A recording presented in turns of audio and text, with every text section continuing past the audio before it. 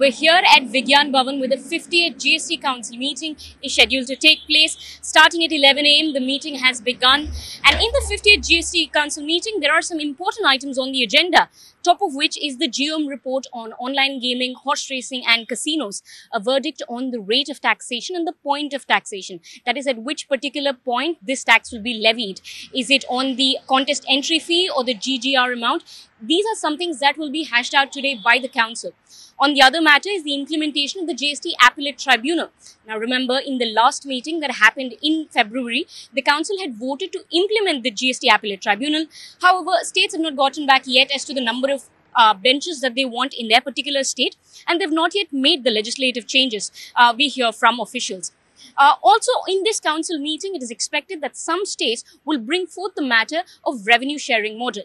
Now, currently, states and center share the GST revenue on a 50-50 basis, and some states are pitching for this to increase to the states' benefit.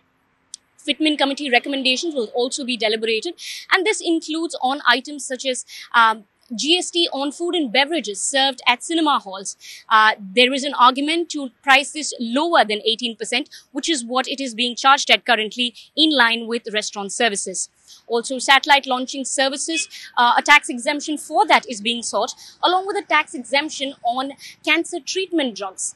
All of this will be put to vote and we will find out if in fact there will be a positive reduction in any rate, so to speak. Lastly, there will also be a council vote to decide how to tighten the norms around reducing fake registrations and fraudulent ITC claims.